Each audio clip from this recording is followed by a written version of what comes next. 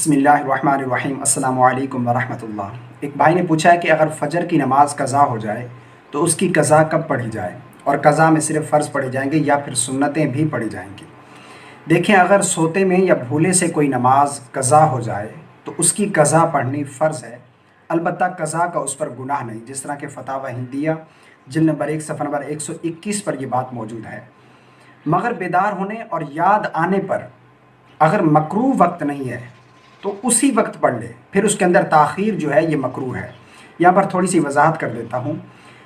देखें, अगर दखूल वक्त में सोया, मिसाल के तौर पर जहर का वक्त जो है वो दाखिल हो चुका था, अब दखूल वक्त में सोया है, उसे जगाने वाला भी कोई नहीं, और वो ख़ुद भी ना उठ सका तो इस सूरत में अगर दखूल वक्त में सोया और उसकी नमाज़ का वक्त जो है जहर का निकल गया, उसकी नमाज़ कज़ा हो गई तो अब वो गुनाहगार ज़रूर होगा, क्योंकि वह दखूल वक्त में सोया है। अब यहाँ पर फजर के लिए अलग है। मिसाल के तौर पर फजर में अक्सर हिस्सा जो है वो जागता रहा। रात का सारी रात बेदार रहा, अक्सर हिस्सा जो है वो रात का बेदार रहा। लेकिन दखूल वक्त से थोड़ी देर कबल सो गया। यानी अब चार बजकर पैंतालीस मिनट पर जो है तलु फजर हो रही है। और अगर सारी रात जागता रहा, लेकिन चार बजे जो है वो सो गया और उसे उठाने वाला भी कोई नहीं और वो ख़ुद भी ना जाग सका, इस सूरत में अगर उसकी नमाज़ निकल जाएगी तो तब भी वो गुनागार ज़रूर होगा।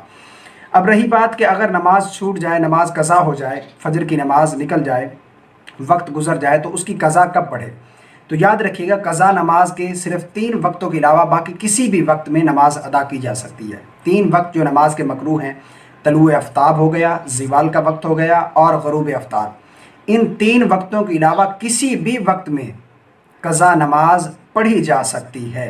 सिर्फ़ तीन वक्तों के अलावा तलु आफ्ताब जीवाल का वक्त और गरूब आफ्ताब अब यहाँ पर तीसरा मसला कि अगर फ़र्ज़ नमाज़, अगर कज़ा नमाज़ पढ़ेगा तो सिर्फ़ फ़र्ज़ पढ़ेगा या फिर सुन्नतें भी पढ़ेगा।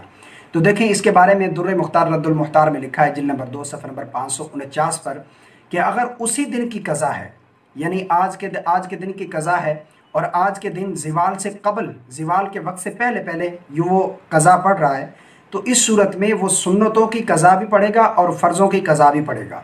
अगर उसी दिन की कज़ा है और जीवाल से पहले पहले पढ़ रहा है, ठीक तरीके से समझ लीजिए कि सुन्नतों की कज़ा नहीं है वैसे, लेकिन फजर की नमाज़ अगर उसी दिन कज़ा हुई है और उसी दिन कज़ा पढ़ रहा है, जीवाल से पहले पहले पढ़ रहा है तो फिर सुन्नतों की कज़ा भी पढ़ेगा और फ़र्ज़ भी पढ़ेगा लेकिन अगर उसी दिन की नमाज़ जीवाल के वक्त के बाद पढ़ेगा जहर के बाद पढ़े या मगरब के बाद पढ़े या इशा के बाद पढ़ेगा तो फिर उसकी सुन्नतों की कज़ा नहीं होगी, फिर फ़र्ज़ों की कज़ा ही पढ़ी जाएगी। लेकिन अगर उसी दिन पढ़ रहा है, जीवाल से पहले पहले पढ़ रहा है तो फिर सुन्नतों की कज़ा जो है, वो ज़रूर पढ़ेगा और फ़र्ज़ों की कज़ा भी पढ़ी जाएगी। ये थे दो मसले कि कब पढ़ेंगे पढ़ने का वक्त जो है सिर्फ़ तीन वक्तों के अलावा बाकी किसी भी वक्त में पढ़ सकते हैं। और ये जो सुन्नतों की बात बताई है सिर्फ़ फजर के लिए है।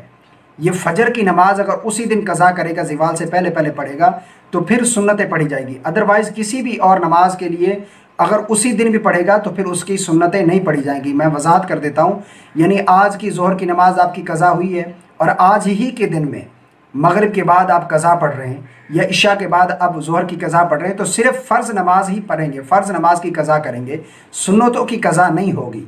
ये सिर्फ़ फजर में मैंने बताया कि जिस तरह दुर मुख्तार, रद्दुल मुख्तार में लिखा हुआ जिल नंबर दो सफ़ा नंबर पाँच सौ उनचास पर, कि उसी दिन अगर जीवाल से कबल वो नमाज़ कज़ा कर रहा है तो फिर उसकी सुनतें भी पढ़ी जाएँगी और फ़र्ज़ भी पढ़े जाएँगे।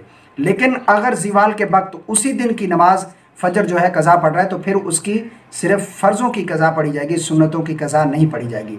तीन वक्तों के अलावा किसी भी वक्त में नमाज़ कज़ा पढ़ी जा सकती है, सिर्फ़ तलु आफ्ताब और जीवाल का वक्त और गरूब आफ्ताब। इन तीन वक्तों के अलावा किसी भी वक्त में फजर की हो, जहर की हो, असर की, मगरब की ईशा की, कोई भी नमाज़ कज़ा हो चुकी है, उसको पढ़ लेना। इसमें किसी किस्म की ममानियत नहीं है और जितनी जल्दी हो सके कज़ा नमाज़ को पढ़ लेना चाहिए। दुआ है कि अल्लाह रबालमीन हम सबको शराई मसाइल जानने की तोफ़ी अता फ़रमाए। आमीन। अल्लाम वरहमल